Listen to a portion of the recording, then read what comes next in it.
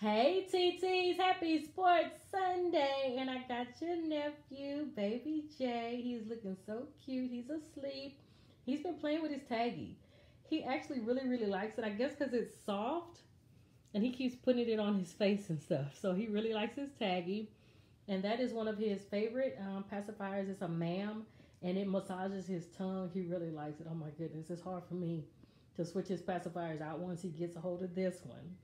But he has on this cute little navy blue onesie.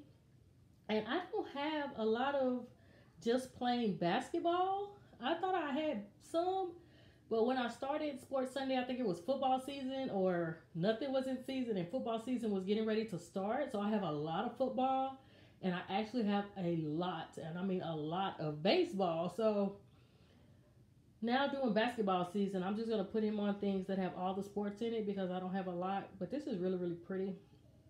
And because it's a little cool in the house, I just paired it with some white pants.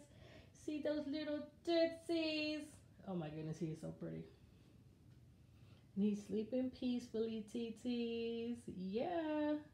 I'm really liking Sports Sunday. Um, I love this thing. I love finding sport things for Jay and for the girls as well. But I don't have basketball, so I don't know. And the reason I thought about it, hubby is watching basketball right now. I was like, oh man, let me do a video.